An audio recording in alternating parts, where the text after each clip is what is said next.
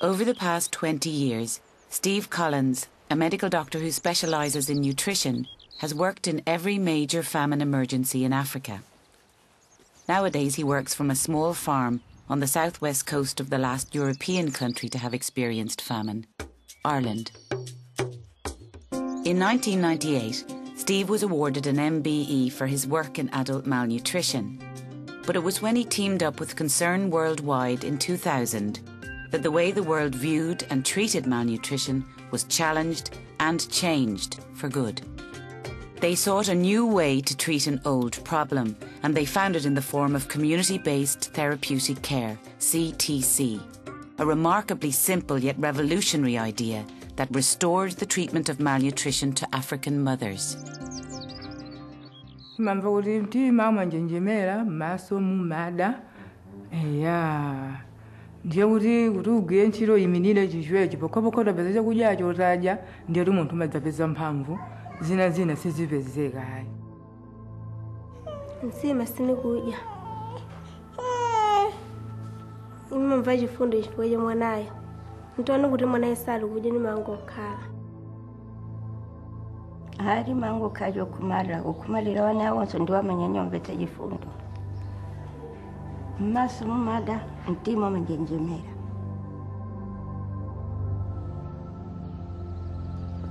Until recently, these mothers and their babies would have been treated in centralised feeding centres. Traditionally, these centres were set up to administer famine relief to starving people and were considered the gold standard in treating malnutrition. Up to then, I suppose the, the big constraint to having community care or enabling women to feed their babies in their homes, malnourished children, was the fact that there wasn't a suitable food that could be used in this circumstance.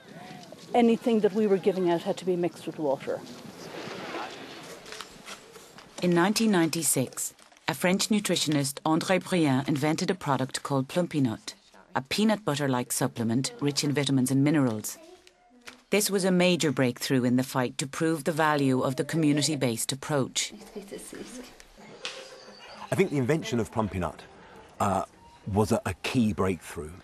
It's an oil based product, there's no water in it, and so bacteria can't breed in it.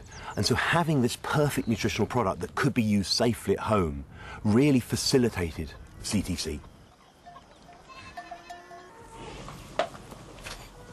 You ate Kase Fanta lives with her family in a remote part of Tigray in northern Ethiopia.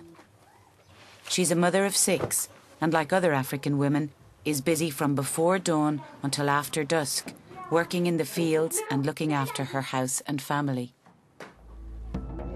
When one of her children is sick, Uwait struggles to get them the care they need. The isolation of her home and the fact that she has no form of transport means that any journey she undertakes is long, arduous, and on foot. Plumpy Nut made it possible to develop a program which would allow malnourished children to be treated in their own communities. By using a simple band to measure the width of a child's upper arm, Steve argued that anyone could tell if a child was malnourished. The child could then be admitted into a CTC program to receive ready to use food and drugs. Instead of having to leave their family and livelihood for up to six weeks to stay in a traditional feeding centre, mothers could return home and make weekly visits to the health centre for monitoring and therapeutic food. Children who had lost their appetite completely could still be admitted to hospital for care until they too could be sent home with the necessary supplements. This system made it possible to reach and support far more women and children. Despite Steve Collins' conviction that his new community based approach to treating malnutrition, CTC, could save hundreds of thousands of lives, he needed proof. He happened to be working in the Walaita region of Ethiopia in 2000 when, in the middle of yet another desperate famine, he saw an opportunity to try CTC out.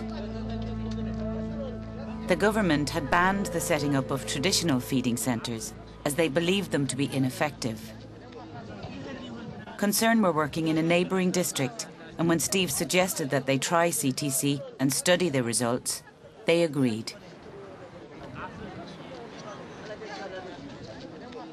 In a way, when the CTC idea came along, it came along at the right time because a, a, a sufficient number of people were asking questions about the effectiveness of the traditional model of, of dealing with malnutrition.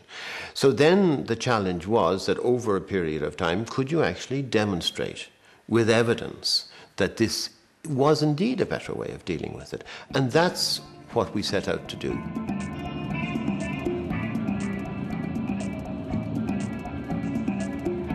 And so we, we worked together to, to design a CTC program in, in the, the district where Concern were working. And in this one, we put in some extra monitoring so that we could actually start to produce concrete data.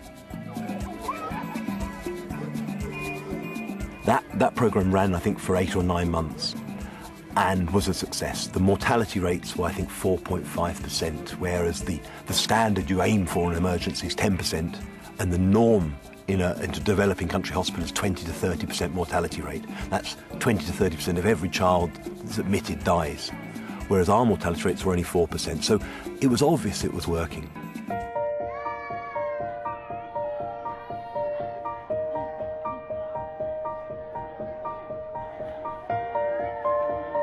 Having had concern basically write the manual of how to do CTC. They were the best uh, partner that we had to, to go ahead and scale it up. But at the same time, with concern, we helped other NGOs to take this on and scale it up.